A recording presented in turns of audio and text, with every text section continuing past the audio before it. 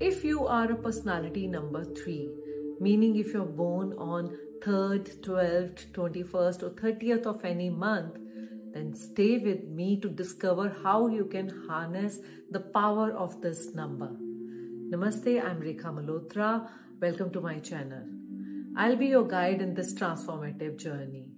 Through years of healing individuals and groups, I have realized by releasing negative karmas, we can focus on our goals and achieve them successfully.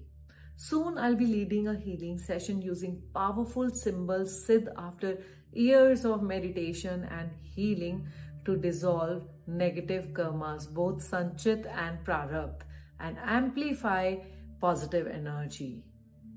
And also share this video with all those close to you who are born with personality number 3. Believe in the power of healing and affirm in the comment box, I am blessed. I would like you to make yourself completely comfortable. Close your eyes. Bring your focus on your breaths. Allow yourself to relax and be grateful to the divine and embrace this healing with complete surrender.